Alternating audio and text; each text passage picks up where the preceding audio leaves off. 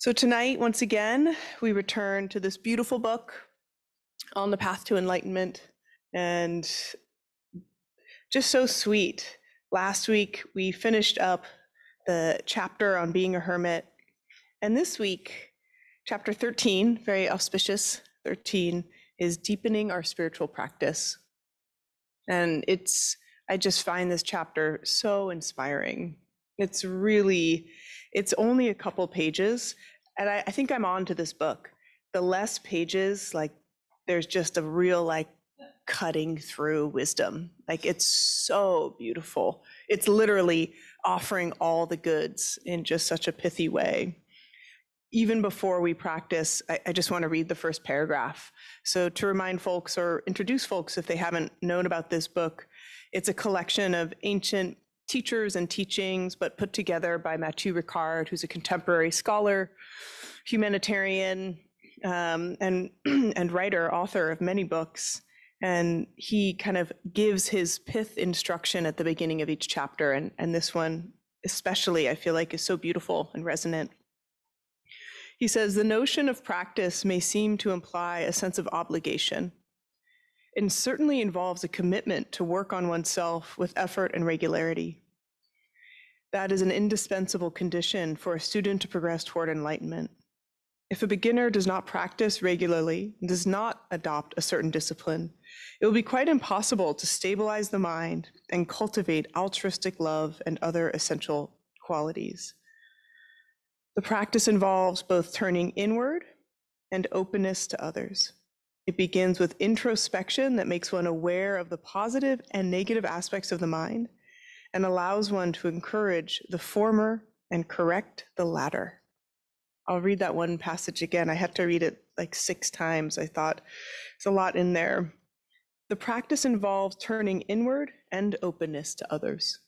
So, just such a beautiful piece. I know many of you in this room really live by this, but that the practice asks us, asks us to turn inward and to others, not placing one above the other, not one first, but inward and to others. It begins with an introspection that makes one aware of the positive and negative aspects of the mind and allows one to encourage the former and correct the latter. Nothing is wrong here. There's nothing wrong in your mind. There are parts of it that are positive, meaning generating of collaboration and connection, kindness, waking up on the spiritual path and parts of your mind that maybe are negative, that get in the way, that are harmful and delusional. And you make space so that you can encourage those positive qualities and correct the latter. Just love that pith instruction. So we'll dive deeper into this chapter after we do some practice together.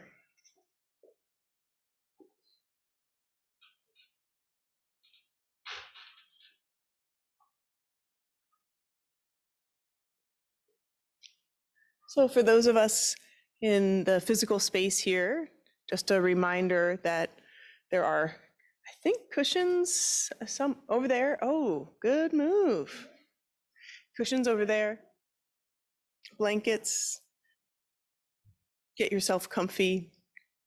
If you have a device on you and you want to silence it, that's super welcome.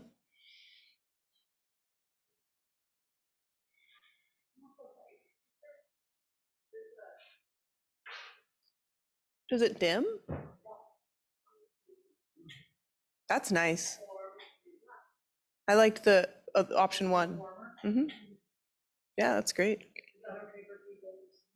hmm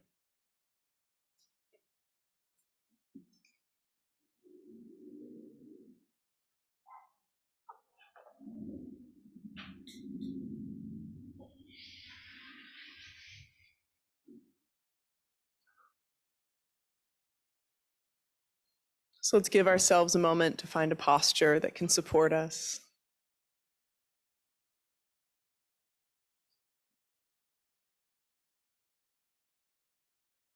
Feeling that sense of not obligation, but commitment to the practice. the wonderful uprightness of our spine, serving as a channel from heaven down to earth.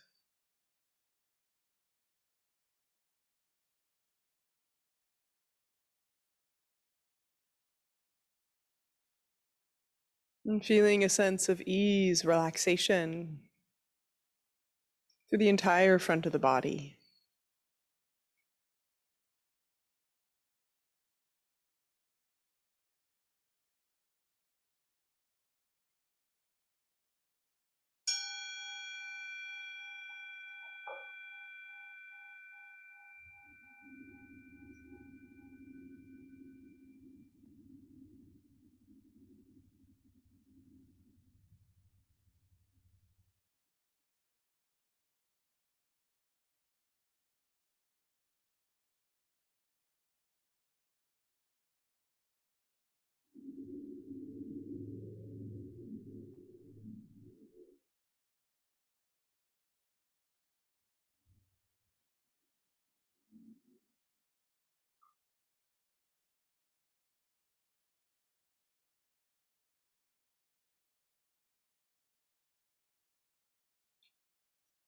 It's always so wonderful to remind ourselves why we practice.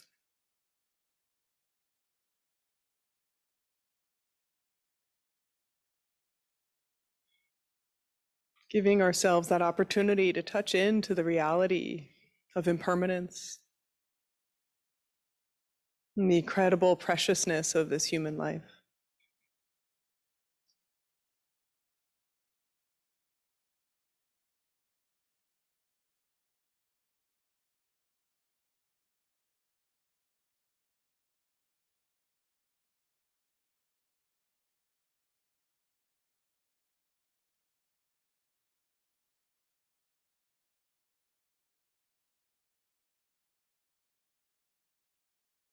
Mm, reflecting on the reality which is so easy to see everywhere around us that what we do, what we think,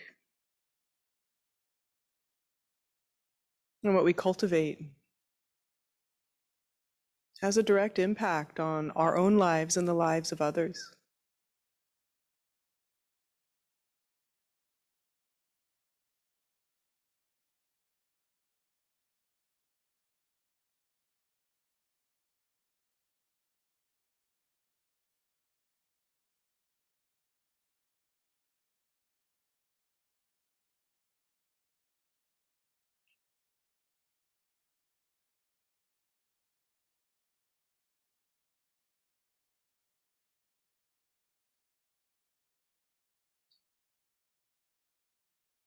To help us slip deeper into this present moment as we begin our practice. Bringing to mind once again something so easy to see all around us. When we invest in introspection of our heart and mind, we cultivate that which is so much greater than to the day to day worries of samsara.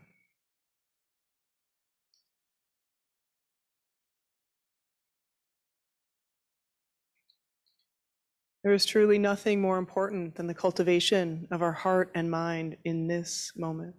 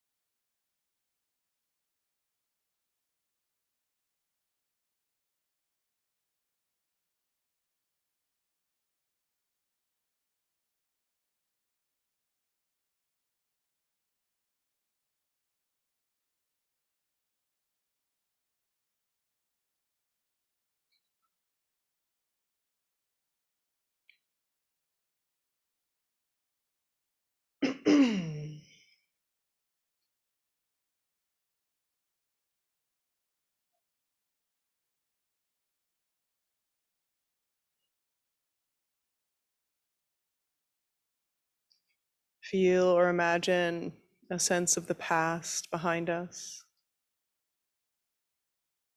already gone. And the future unfolding in front of us, not yet known.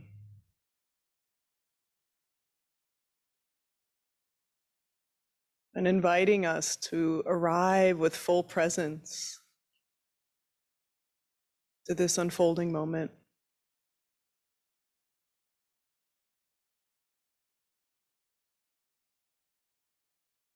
Breath by breath by breath.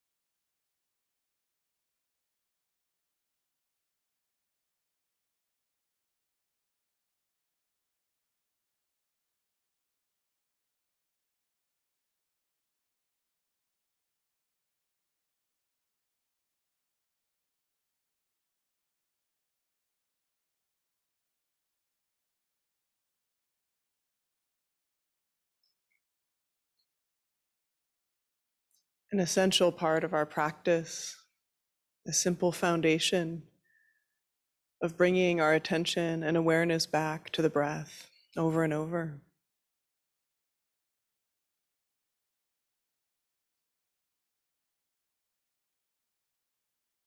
And whenever we meet with a distraction, whether it's a sensation in the body or a sound, we meet it with gentleness And we simply relax and release and return to the breath.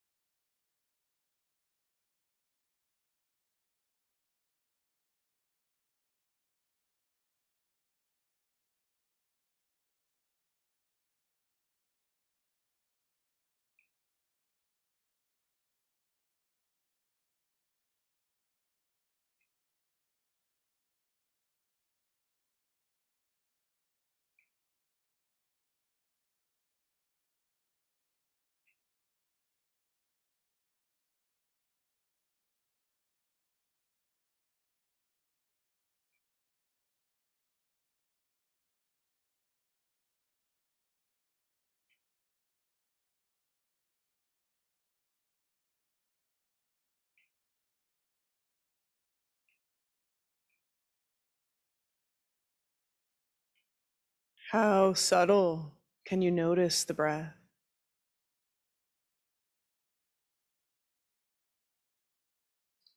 Following it through its entire course of inhale and exhale.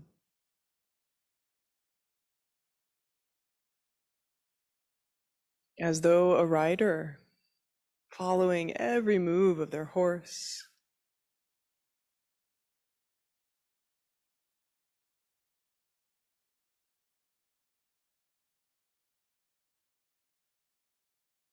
Simply ride the breath with full attention, curiosity, kindness.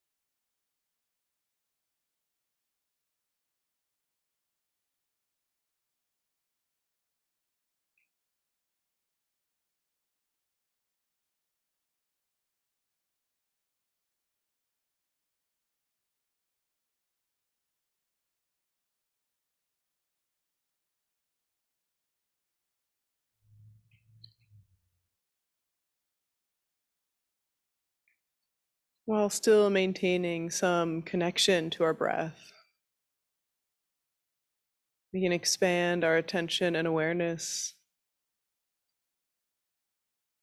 to any emotional residue, personal material we may have noticed already in the course of this practice. Maybe we have a sense of worry or loss. Some flavor or version of insufficiency, doubt. Without energizing these experiences or thoughts. Bring kind awareness to the sensations Notice how this feels in the body.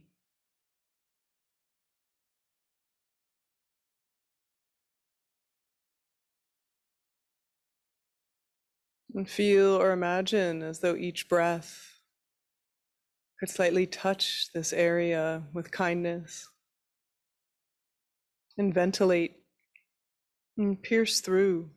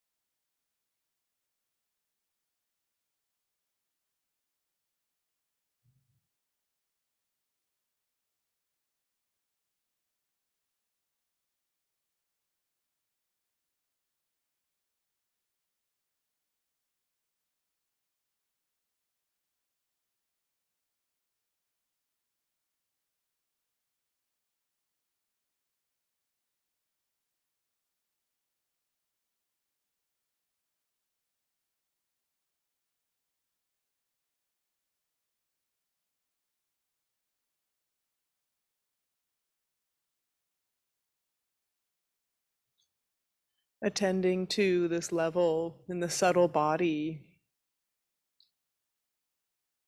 can allow us to be more fully here. So imagine that sense of simply peeling away anything between you and the presence of fully being with your next breath.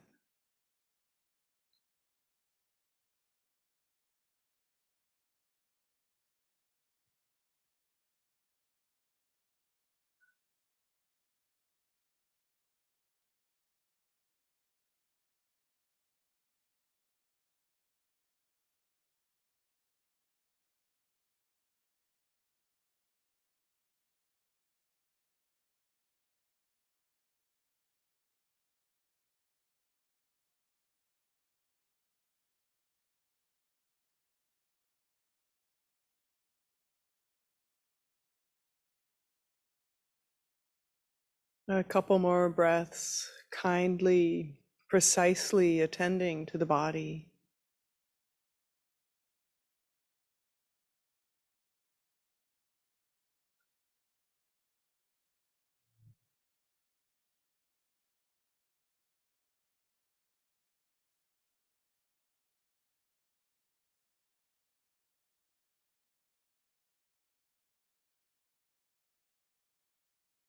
And with your next exhale, extend your awareness in all directions.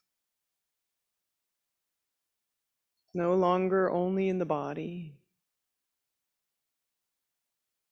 Feel or imagining a sense of spaciousness, openness. Feeling your awareness all around you radiating, boundless.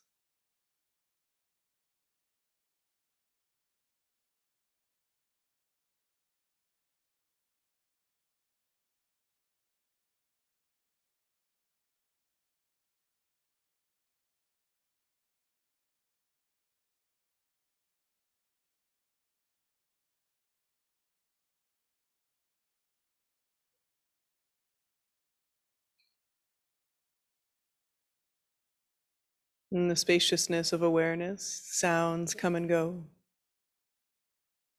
Thoughts come and go. All sensory experiences just arising and passing through.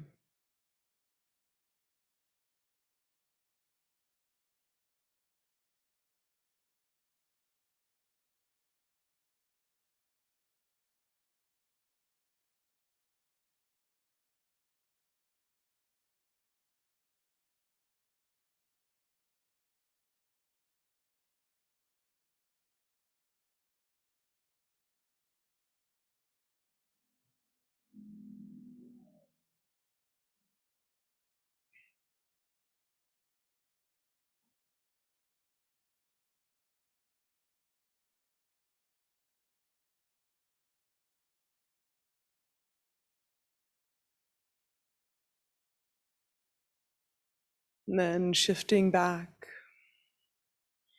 oscillating our awareness from wide open to once again noticing the breath in the body, regathering the full force of your attention just here.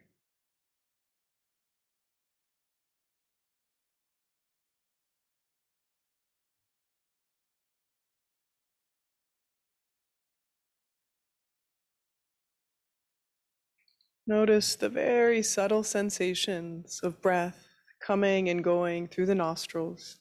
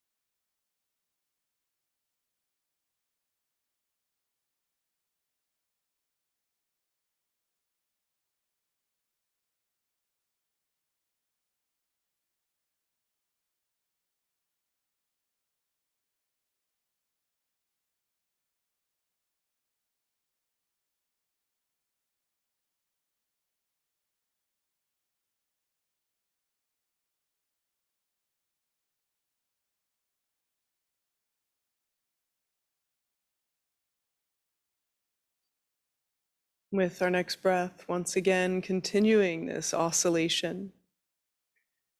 Exhale, extend and expand awareness in all directions, above and below,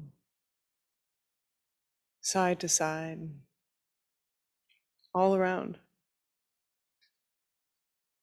Feel the mind, heart, and body mingling with space.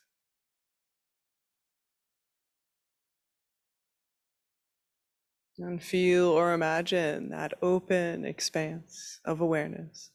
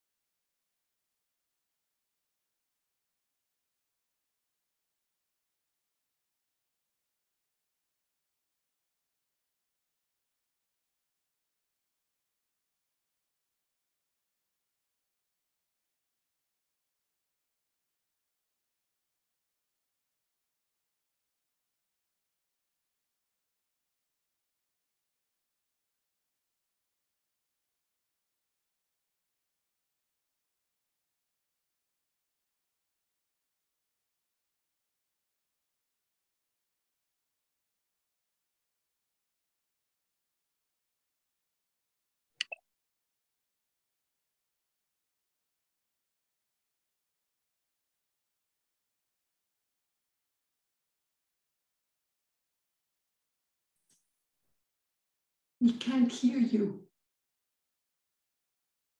It's already been a while.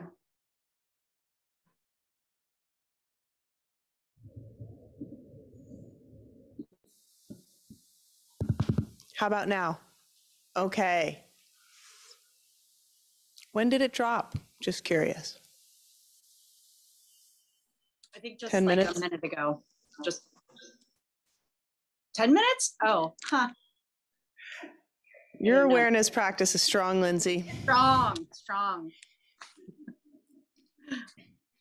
Okay. Yeah, any any questions or reflections on that practice? we did a bit of the oscillation there, more closed and more open. Landed in our hearts and then again more open awareness.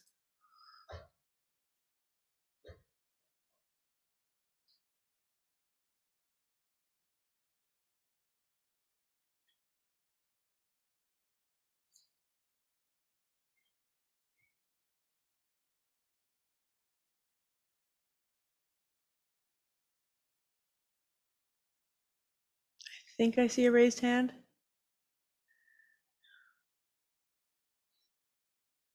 Do you see it? Oh, Yeah, Cindy. okay. Um, thank you. Yes. Uh, for me, the um, the it took a bit of um, to reopen and to stay open after you know going within. Um, but once I did, it was just um, really like a light and um, almost energizing for me. Mm, wonderful. Just wanted to share and say thank you so much. Thank you, Cindy. Yeah, it is interesting, right? That oscillation in and out. It can, I think, I, I agree with Cindy. I think it kind of energizes or can energize our awareness a bit and help it have that sense of um, of spaciousness just by contrast of bringing it inward, bringing it outward. In the traditional way I first learned it, you were supposed to do it on one breath. I find that too hard. So inhale, bring it all the way in, exhale all the way out. Inhale all the way in, and I just like hyperventilate. Um, so I, I like giving a little more space to have that uh, transition. Yeah. Other questions, thoughts, reflections?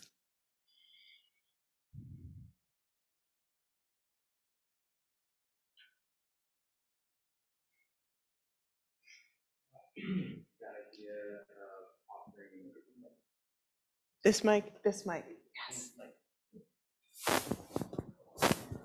uh, the idea of offering um, the same word to myself as then extending outward really resonated. Mm. And um, for me, it was uh, I offered myself this kind of like relief through the word ah. ah. And then when the invitation to extend that out, it was like, oh, I'm like, can I take a sigh of relief on behalf of everyone here? Hmm. So that would that felt like normally with repeating the different phrases, I don't feel that same connection of Hmm. inward outward. So I think keeping it to one was really Hmm. skillful. Sweet. Thank you. Were you all able to hear?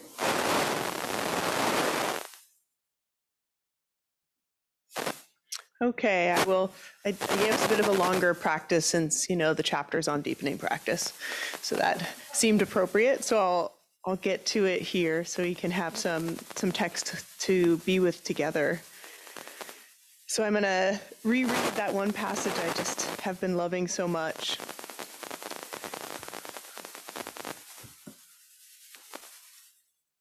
Yeah. Uh, this prac- the practice involves both turning inward and openness to others. Oh yeah, it's probably how close it is to the speaker, maybe. Is that no? Anyway, Sorry, friends, we are, we're trying to get the audio right. On deepening practice, deepening spirit. Um, that's why I gave us a long practice. Deepening spiritual practice. So the practice here involves both turning inward and openness to others. So we we did that, right? Just a little bit of the and it's so interesting because again, I I often as many of the uh, folks who tend to care for others in the room, like we tell ourselves, care for yourself first, then others. Even though we generally don't do it that way, we of course care for others first. And I just really love this, again, this non hierarchical, both, not one, not the other, but both. And I think for a compassion practice, you can interchange those easily, and that can be of great benefit. It begins with an introspection that makes one aware of the positive and negative aspects of the mind and allows one to encourage the former and correct the latter. So, in the very beginning of practice, you know, doing that handshake with whatever is hard, it's it's really it's so interesting. Um, it's these qualities which we'll hear in this chapter of what's important. This introspection, being able to know our own mind, to create space, to cultivate kindness. They really are just so entwined together. And so this idea of, you know, that kindness towards ourselves, it's like a platform for then being able to sustain that attention, whether it's closed or open. And then having that opportunity to explore our attention and awareness in an expanded state, in a narrow state, and coming back to the heart. I, I think it's it's interesting to work with this cultivation, both of our attention and awareness and our heart together. Then, while continuing to purify one's own mind, one broadens the scope of one's attention, developing heartfelt concern for all beings who suffer under the influence of those negative aspects of the mind. Regular practice is also necessary to be able to progressively assimilate the profound teachings of an authentic master. It's essentially a process of inner growth and freeing oneself from the ingrained habits that keep in that keep one in the circle of suffering. So I love this idea again of just the inner growth and the freedom. I think what that says to me, which I can never hear enough, especially coming from the Vajrayana tradition, which is it's not that you need to create something new to be good. You are already completely fundamentally good. And yeah, you could use some work. But it's like a fixer upper, it's not a tear down, you know? And I, I think it's so essential to keep that in mind. Um, that this process isn't like, I need to meditate so I can be better. It's just the revealing, just the gentle revealing of what's good, the kind of cleaning um, there. The duration of meditation sessions of a practitioner's day may vary from a few minutes to many hours, or even day and night in the case of a retreat. Then comes a time, after many years, where the division between meditation and post meditation dissolves, and the mind, finally free, no longer makes a distinction between practice and everyday life. So wonderful. Really, I, I imagine some of us have felt that where really our everyday life can feel like practice. I got to walk here uh, with a newer friend and colleague and you know really felt just the vivid beauty of the city under these cloudy skies. You know like every single leaf was like brighter. And um, you know the sense of uh, connection. And it truly felt like practice on my way here to practice. And it's it's so sweet when we can loosen a little our associations of what practice is. And that doesn't mean stop meditating for the record. I think all of us need to meditate as much as we possibly can. Let's just be honest. Right? There might be some folks for whom that may not be needed at all times and there are some points in our life when meditation actually could be a disservice. But generally speaking, we want to be kind of cultivating those pathways, but also not treating life off the cushion as so separate and so different. I'd be curious for folks if anyone has an example of when they've noticed that practice has come alive off the cushion for them. Pop quiz. Yeah, Jimmy. Oh, wait, can we bring him the mic? It's too messed up. No problem. That's cool.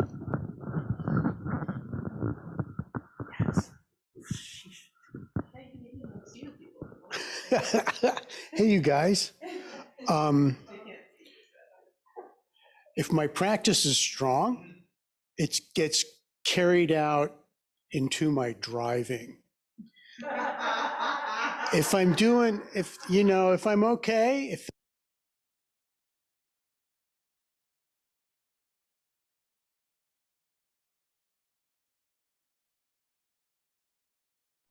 We lost audio.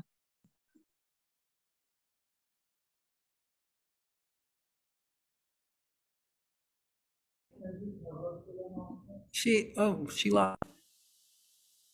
Is there like a wireless thing that's connecting and reconnecting in between the default devices? That was what I mean.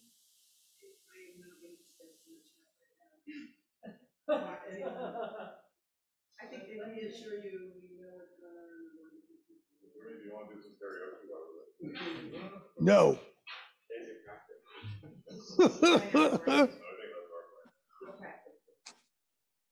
yeah. How's that? Better? Good.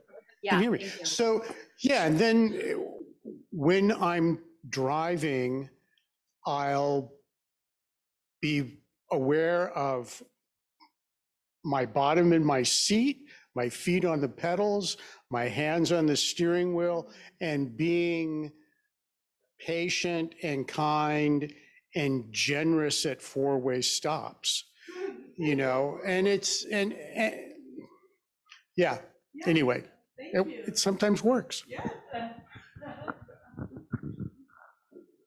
That's such a perfect example, right? It's so simple and yet makes such a big difference and something you can track actually and notice. Yeah. Wonderful. Yeah. Yeah, I'm going to repeat for Mace. Um, I just love the just like me practice when I'm walking Mm, around, really. And I switch it up sometimes, so I'll, you know, like sometimes it's just like me, that person wants to feel safe. But I also sometimes feel like just like me, that person is, isn't live. Yeah. Or that person is very, is is lost, or that person is very. Hmm. I just kind of try to like mix the three of them. Yeah, beautiful. So Mace describes that when she walks down the street, she does the just like me practice quite a lot. So imagining whoever she sees just like me, this person wants to be safe, or just like me, this person is impermanent. Um, I think uh, Howie Cohn calls that like a stealth metta almost.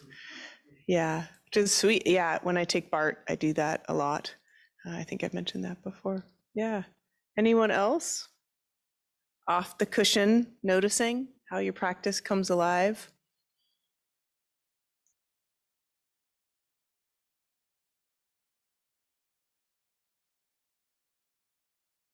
Lots of Tonglen.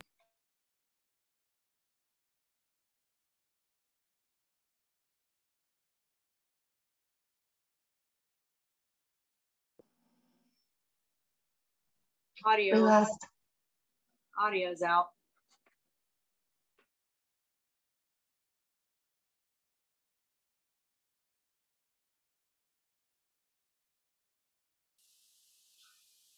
Can you hear me? Yes, yeah.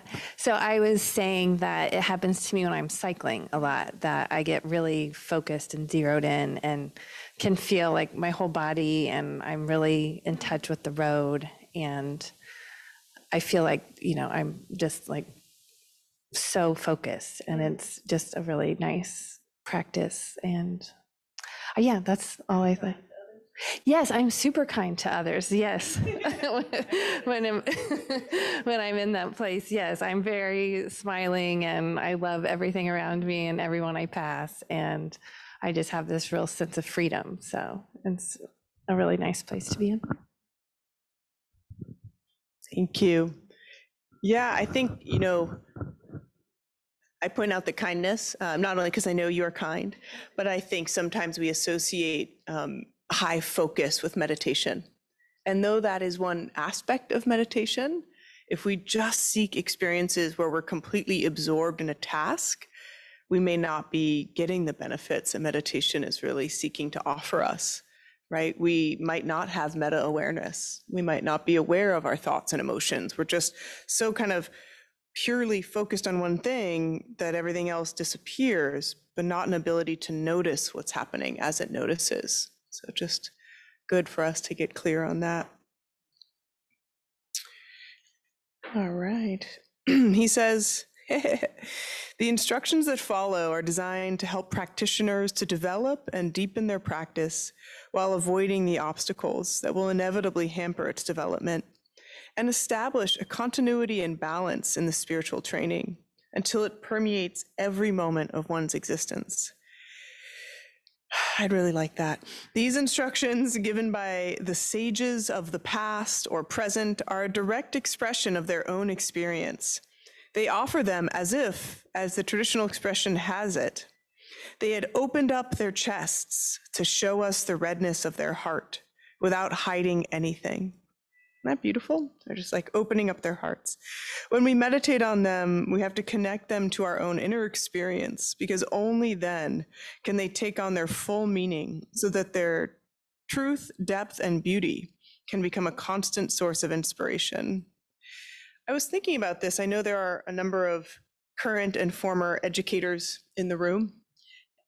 How we learn uh, there was an interesting question in some curriculum. I'm supporting, we're building this curriculum right now, and we're talking about instructional hours and experiential hours.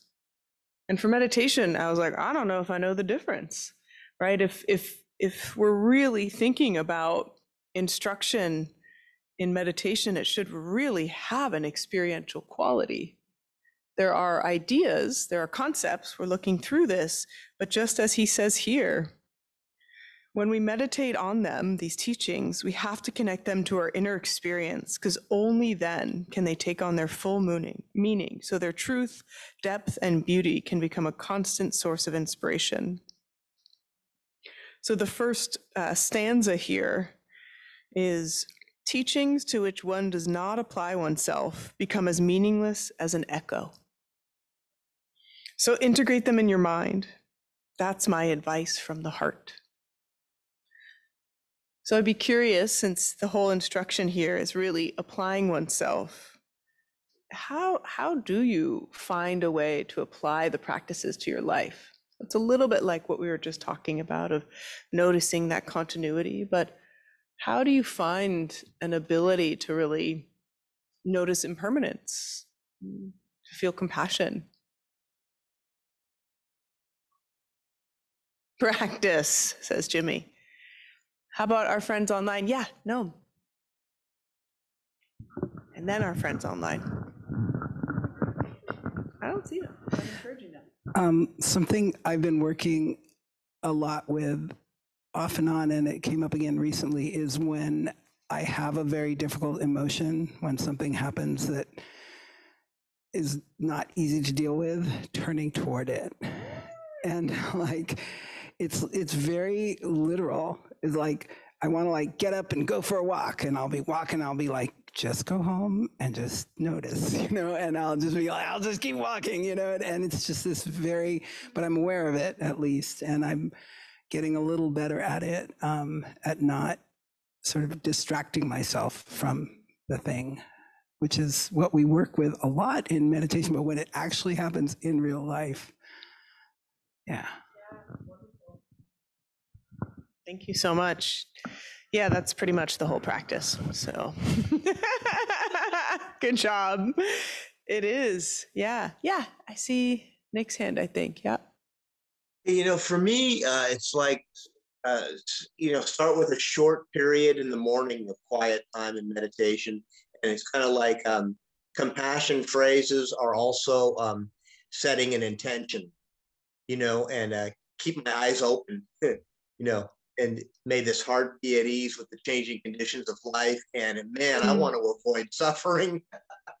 you know, I That's right. suff- And I, and I want to be mindful of the fact of what um, creating all the problems for me is, um, w- you know, like what the teachings say, wanting and not wanting. You know, I don't want some things, but I want other things, you know, and can I be okay with things as they are? And can I, you know, and I live in the city, you got to keep your eyes open. If you sleep and something can happen, you know. So I keep my eyes open and uh it's hard, you know, to open my heart. Hmm. It, it is kind of hard to open my heart sometimes. And I noticed um, you know, sometimes you'll see people on the street, you know, and I, I don't want to, I want to try to say this without sounding like it's virtue signaling, but there was a lady passed out on the street and I get, oh man. And so I called the, you know, the 311 and say, well, this lady's not, looks like she's not doing too good. And, and I, you know, sometimes it, I, just happen to do it because sometimes I see God, men land and I just walk right by them you know, I'm kind of used to it, you know, and it's that's kind of disheartening to me in a way if, Yeah. I, if I really pay attention, you know. Um, so I think just trying to be open and st- but the, the, the quiet time in the morning is a must. You know, I have to set that intention right in the morning and kind of start my day from there, and I and I feel like I can do pretty good with it. Mhm. Um, yeah, so it's mostly that, you know, and showing up to um to to you know to group meditation and uh yeah, all the teachings I'm trying to soak it in and just show up, Yeah. turn the camera on and participate and Hmm. um and let it sink in, you know, how much Hmm. I'm really absorbing, I don't know, but it's you know, I seem to be doing okay. so thanks for thanks for that. Oh yeah, and um the you talked about uh, during the guided meditation you were talking about um, you know the emotional residue and i find that um, that's also kind of a good noting phrase to just Yeah. note emotional residue you know not get into the Hmm. context of the you know the story of what happened just like oh you know like hearing um, you know Yeah. feeling and emotional residue you know that's emo- gee that's emotional residue that's all that is and let me get back to my breath so thanks for Hmm. that Thank you. Yeah, thank you for that, for many of the points. I'll start with the last one. I just, you know, it's hard for me to imagine any person sitting to meditate and not having emotional residue. It- could be pleasant. Like I actually arrived to, tonight, and I should- shouldn't sound so surprised, but like in a very pleasant space. So the emotional residue was one of, oh, wow, like joyousness. But to recognize that residue as part of our practice is, it's so helpful. And I like you're suggesting like we could try it as part of our noting practice, like we did the noting last week. Yeah. And I do think applying that frame of compassion to our experience in the world, what I've noticed for myself on longer retreat or time when I've had practice uh, is I still have maybe the unkind judging of others or judging of myself, but there's a much shorter gap between those thoughts and the compassion. And I wish in this lifetime that those thoughts won't come, but I'm not banking on it. But I can start even like shortening the time in which the compassion follows. And that's success, right? That's great success for us. Um, note I said during long meditation retreat. Uh, sometimes during the day too, right? Uh, day to day that can happen. The next little stanza, and then there's just one, like just one stanza here. I don't know if we'll get to the whole part of it tonight that goes on for three pages. It's the whole chapter. But the next one is if you apply yourself continually to the practice, appearances will become your teacher. And you will die having realized the entire phenomenal world is supreme bliss. Supreme bliss.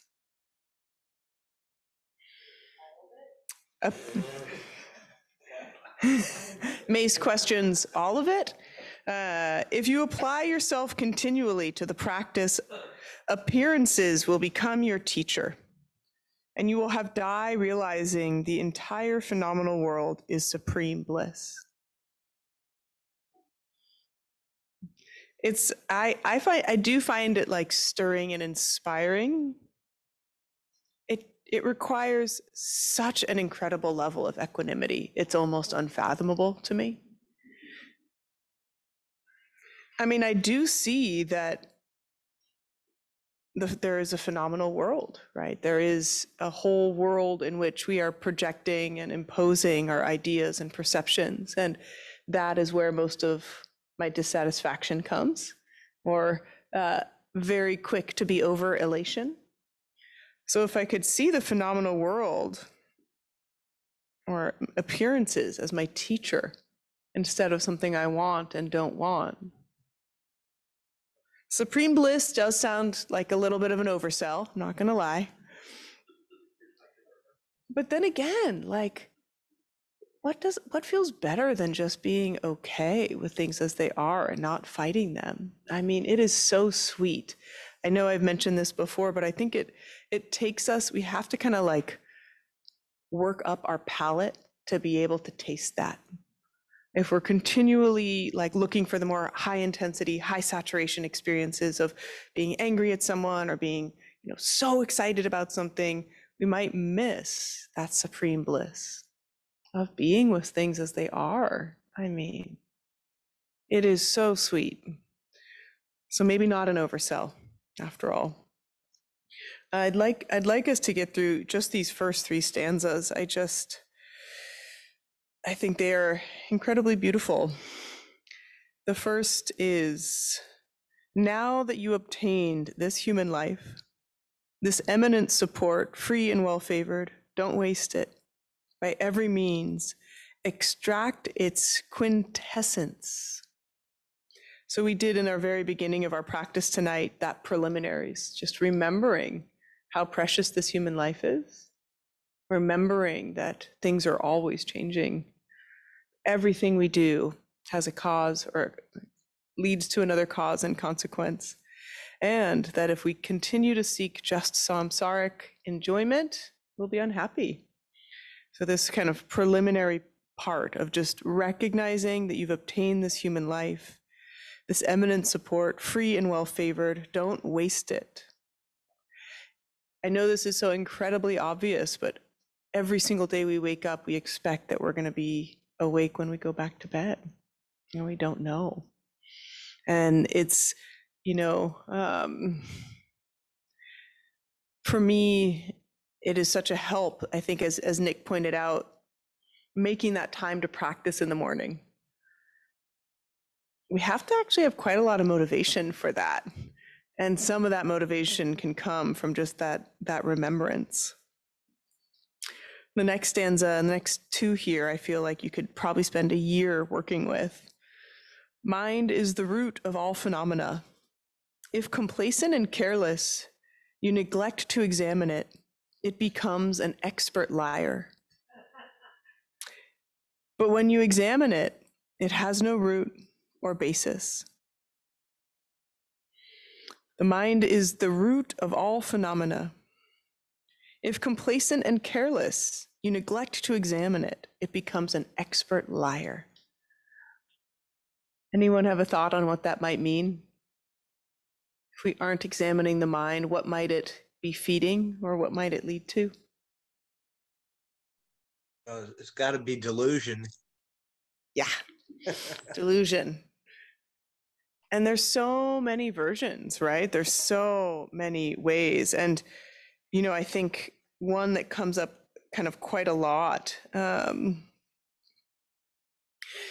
is you know having having a good example of of delusion so for example we might think we received a uh, an email that made us feel totally disrespected unseen or hurt maybe it was from a friend maybe from a colleague and we spend a good part of the day and maybe even wake up at night thinking about it like what the fuck, right? Just so hurt, upset, betrayed. We find out the next week it was not about us at all. right? Either, you know, we misread it or it was out of context, like complete and like it's gone. Like it was never there. Like all of that. Such a great way for us to just really reflect on our mind is an expert liar.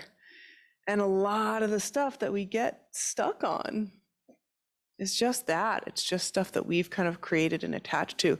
Not that nothing isn't important, not that nothing doesn't matter or things are not painful, but recognizing our part in it. Often, even on pain, you know, we pile on the extra aspect of suffering. So when we're taught these Four Noble Truths, it's not that no one will die or be hurt or become sick again. It's that we won't add so much extra baggage onto that experience.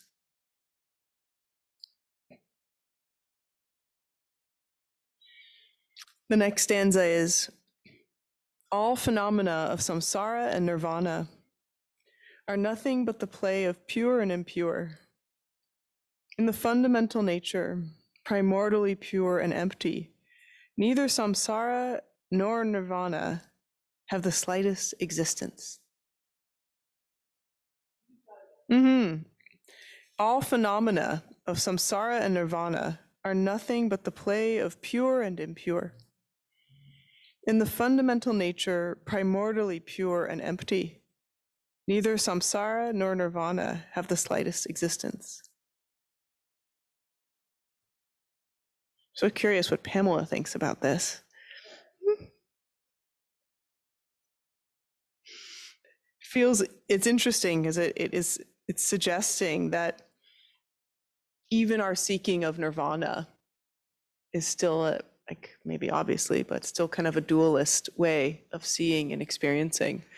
That there is something, there's a, there is the fundamental nature, primordially pure and empty. And I was thinking about that a lot reading this this this passage. It's quite a leap of faith. I remember when I does anyone remember when they first heard the word, word primordially pure, and you were like, "Wait, what does that mean?" or maybe we're still there partially like primordially pure it it it doesn't at least for me resonate that easily so i'm curious for folks like how do you make sense of that idea something that is primordially pure our fundamental nature sometimes called unborn nature dharmakaya Anyone have, I know that's a that's a really tough pop quiz question. but right.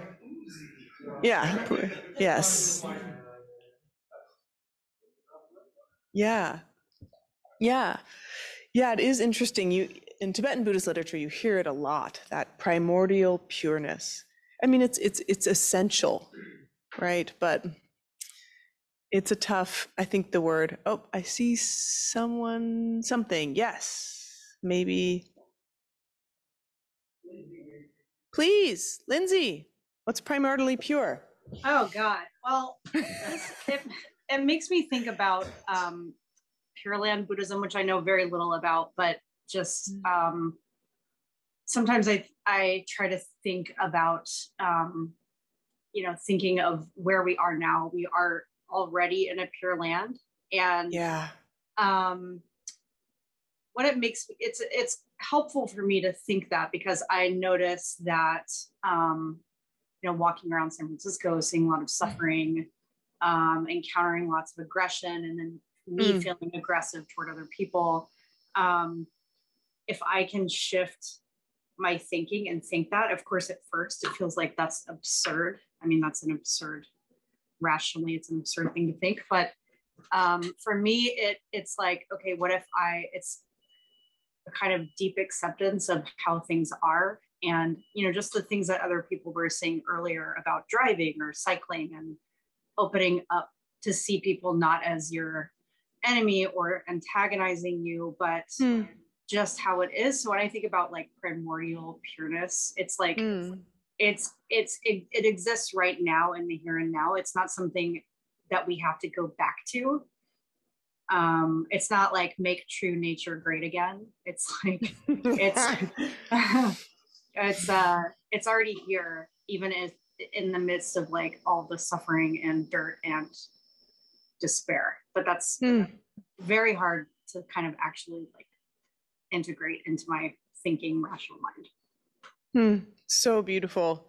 I love how you describe the challenge of it. And and I'm curious when you when that like wisdom arises, do you feel it? Like is there a sense when it even if it doesn't if you're like this is kind of absurd and yet like let's try this on or let's extend this possibility. Like how does that feel?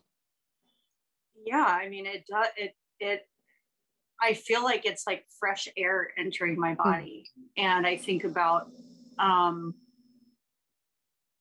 it's like an immediate hit of gratitude as well for the privileges and benefits that I do have and um just being like physically safe in my body in that moment. Um even if it's for just a few seconds, it feels it feels like breath actually. Yeah, beautiful. Thank you. Yeah. And such a great example of applying the teaching experientially, right? Like, how do we try to bring these ideas, especially something as difficult as, um, you know, our fundamental nature, primordially pure and empty? It's, it's so, you know, it's so interesting because essentially you're you're you're describing the next stanza which is emptiness is not a mere nothingness it manifests spontaneously as radiant wisdom and from it awareness and compassion shine forth so when we're able to connect to that sense that primordially pure or that sense of um, something essential we recognize that this emptiness, this ongoing change isn't nothing. There's a wisdom to it, right? And that from, from there, compassion is natural. So compassion isn't a fabricated experience, it just is naturally there, part of our true nature. I think it is, it's very complicated to try to to conjure, to be like, okay, wait, what step comes first? All right, I'm primarily pure, then I'm like empty. Okay, now I'm gonna just pull back a little into my understanding of wisdom about this and I'll have compassion. It really is, you know, kind of like Nick said, like keep listening to the teachings, keep trying them out. I think some of them are, are sticking. And it, it's true. Like we think about this logic over and over, like none of this stuff is ever new. Over and over and over, right? To have a sense of it. And some of these stanzas and the way they're written are inspiring, and some of them might just feel like opaque and obtuse. That's okay. They're just a starting point for us to discuss. Other thoughts on that, or other reflections on maybe already living in the Pure Land?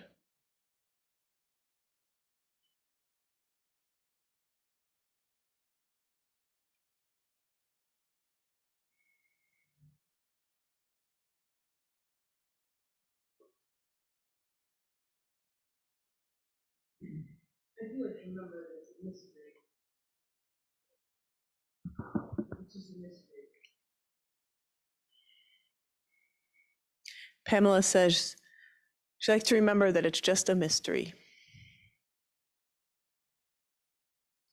Yeah.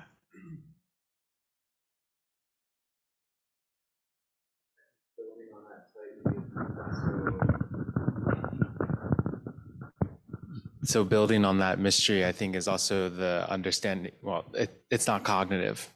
So that checklist that you just ran through, it will never get there from the checklist. It's got to come from the practice, and then it just arises naturally. So I think that it, it is mysterious in that way to this, but then the felt experience, the feeling, and the practice, I think, is where it comes.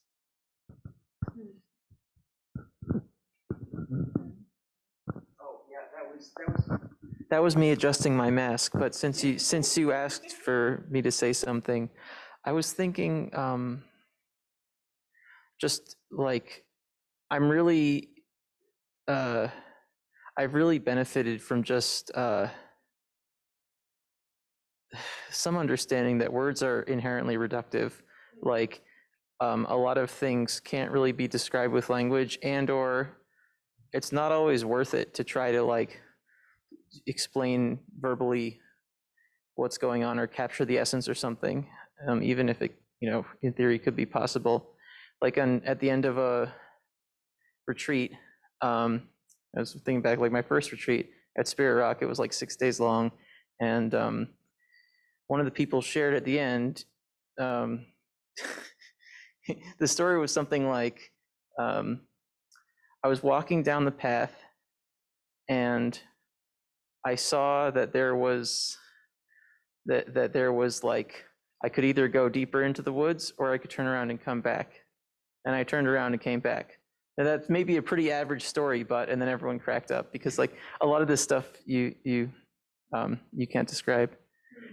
It also reminds me of a story I heard about um, uh, Melanie Klein, an early psychoanalyst, where people were her her contemporaries were critiquing her theory or whatnot, and um, they said, you know, how could kids be imagining explosions? They've never seen an explosion before. And her answer, as I understand it, was essentially, well, first of all, language is inherently reductive, and these are pre-verbal kids. Um, and and like you know, to the extent that she was uh, working with kids who could talk, it was like I'm trying to describe in their language what the kid would say if they could talk, right? So um, so basically, it it it really disarmed all the critiques. I just loved that.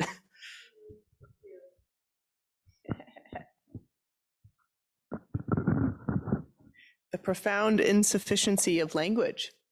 Yeah, no, truly. And, you know, I know again, sometimes these phrases can feel obtuse, but I think in some ways, the less literal and the more poetic, it will send us in a better direction than if it was just trying to literally say what to do.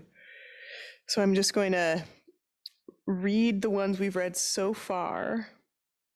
and I'll read just one more. I'll, I'll ind- indulge myself. This, this passage is just so beautiful. Mind is the root of all phenomena. If complacent and careless, you neglect to examine it, it becomes an expert liar. But when you examine it, it has no root or basis. All phenomena of samsara and nirvana are nothing but the play of pure and impure. In the fundamental nature, primordially pure and empty, neither samsara nor nirvana have the slightest existence. Emptiness is not a mere nothingness. It manifests spontaneously as radiant wisdom, and from it, awareness and compassion shine forth. Awareness has no name, no characteristics. From its creativity, the multiplicity of samsara and nirvana arises. Yet what arises and what makes it arise are not two. Simply rest in this non duality. Hmm. Yeah, I, I, I know many of you have bought this book. I just personally love it because almost any page you read, you could meditate on one page or one passage of it for a week or um, or longer. This last stanza, the awareness has no name and no characteristics. From its creativity, the multiplicity of samsara and nirvana arises. Yet what arises and makes it arise are not two. Simply rest in this non duality. It's so beautiful. And again, you know, experientially, we explored in meditation to have that sense of our expansive open awareness, its creativity, all that manifests within it and yet are of it. It's so powerful to touch that possibility of non duality in our own mind. It can really be the instruction without having to explain of how we want to be with ourselves in the world and with others, with appearances. Um, so, yeah, we will get back to the rest of this. I mean, literally, that's just four paragraphs, but. Thi- Um, no, this is Khyentse Chökyi Lodrö. Let me look him up. H I J K. Khyentse, da da da da. 1981 to 1985. Oh Mm-hmm. Yeah, true. Hard to know, but I, that name's familiar to me. Well, we can ask Chandra, but yeah, that's when. Well, it looks like that's when the teachings were. Khyentse Chökyi Lodrö. Yeah. So let's give ourselves just a moment here. Come back into practice. Dedicate our merit.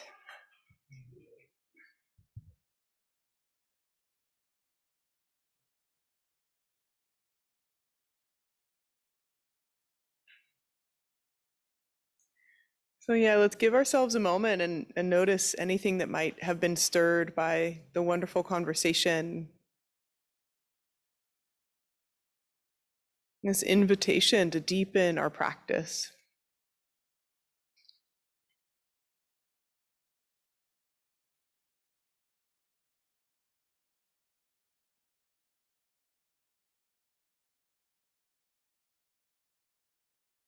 And consider the possibility that something tonight, through our energy and presence, could possibly lead to radiating circles of goodness. Recognizing the interdependence of all things, we dedicate our time and our presence here together to the hope and aspiration that all beings be free. All beings know the true cause and conditions of happiness and well being.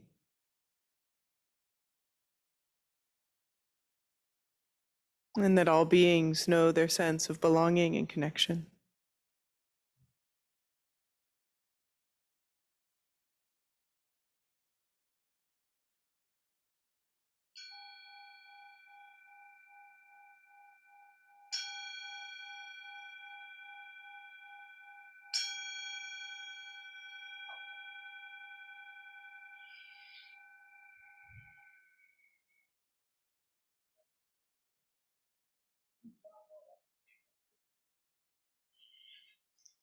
Thank you, everyone. Great to be together. So, next week, feeding your demons. Get your demons ready.